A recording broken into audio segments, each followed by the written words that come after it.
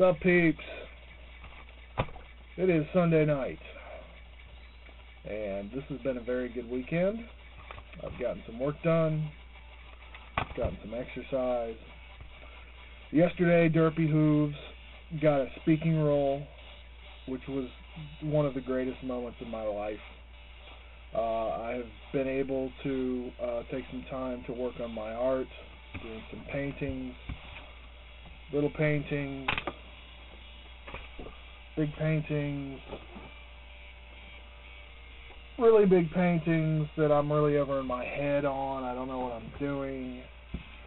Uh, I'm doing like anatomical studies and stuff. I'm actually trying to be a real artiste, drawing naked people, because that's what artists do, right? That's the whole reason they're doing the whole thing is just to draw some naked people. uh, got to sleep pretty much most of yesterday, which was good because uh, there was no football on anyway. Uh, completely ignored the football on today because honestly, I don't give a crap about the friggin' uh, Patriots and Niners and screw all those teams. Uh, I'm basically waiting a month from now. Pitchers and catchers report. That's all I care about. But the best thing about this weekend, the first product of 2012 is live. Phungo cards. This is a pack of custom-made homebrew cards from Phungo, who is at phungo.blogspot.com. Go check him out. He is a Philly fan, and while I am a Braves fan, pretty much my entire family on my mom's side is from uh, Pennsylvania somewhere. Uh, that's pretty much why I drink Yuengling. Uh, I mean, I've got family members who have worked at the Yuengling plant. Uh, and honestly, Pennsylvania beer is best beer. Uh, I just had my first Iron City a couple of weeks ago, and that shit was fantastic. I mean, it's actually better in Yuengling. If I could find it, I'd probably drink it, but that stuff is good. Um, so, you know, yay for for Pennsylvania. Even though the Phillies keep kicking the crap out of the Braves, um, I still have a soft spot for them. Uh, and the beer helps. You know, every time the the Phillies completely embarrass us, I can just down a case of Yuengling and feel good about myself for a while. So I'm okay with Philadelphia uh, and the Phungos. Uh, New York, that's different. All my, all my in-laws are pretty much Mets fans, so it's fun to just mess with them. And every time I go up there, I have a 1995 World Series championship sweatshirt, and I, I I make sure to wear it just just to screw with them.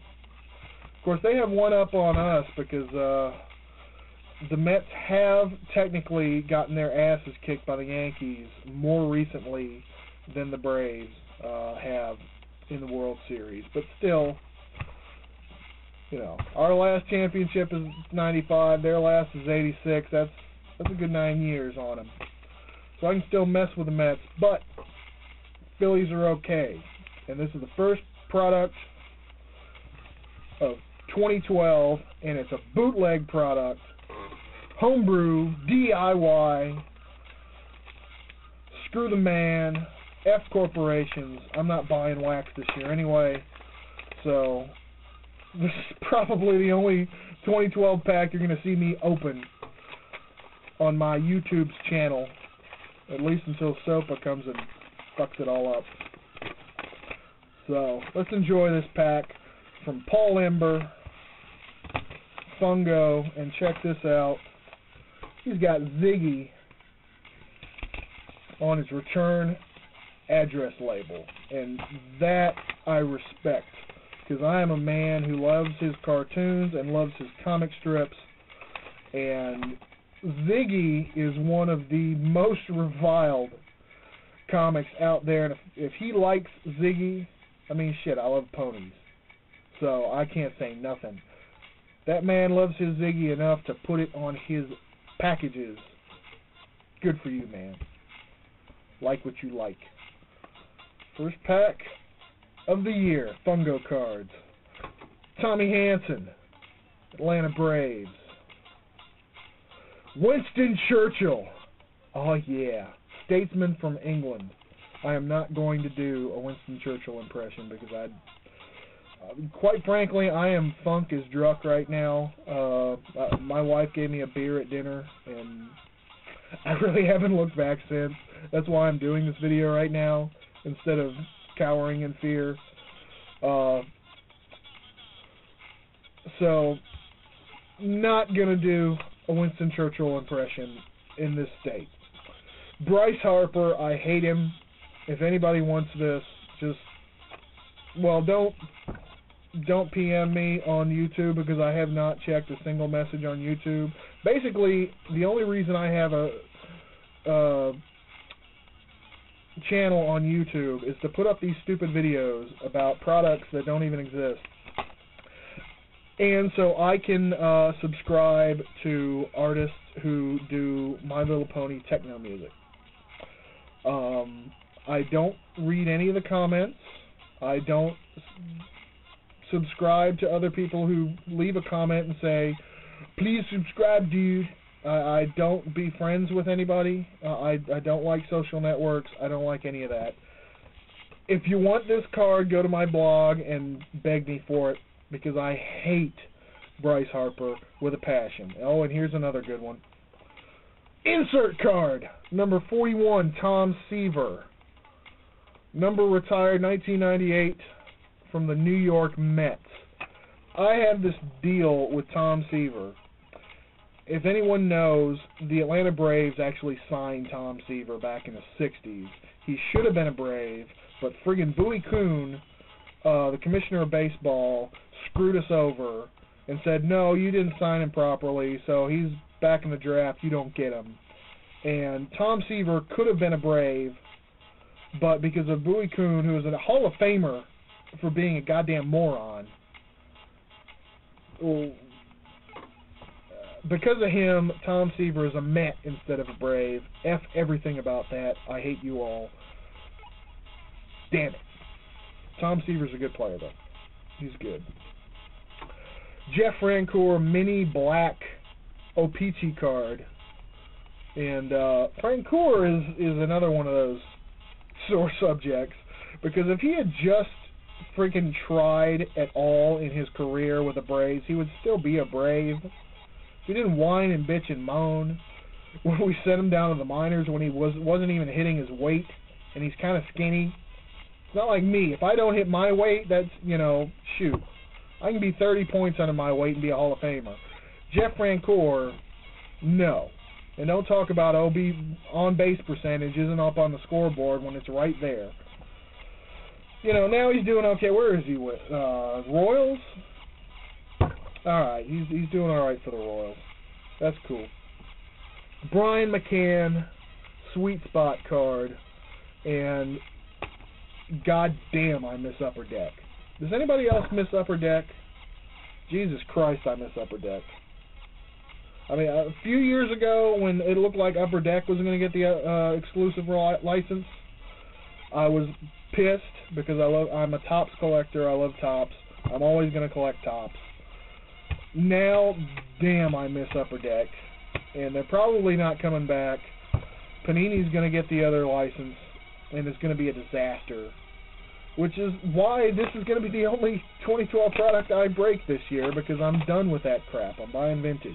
Speaking of vintage, Eric Anthony and Ed Whited, uh, 1990 NL West Rookie Stars. This is from uh, probably Baseball Cards magazine, and it is in the style of 1969 Topps. Uh, and the cards are cool, but the magazine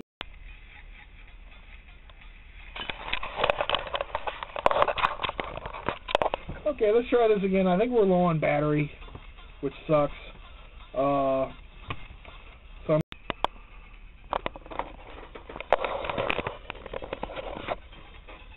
Hello, are we back?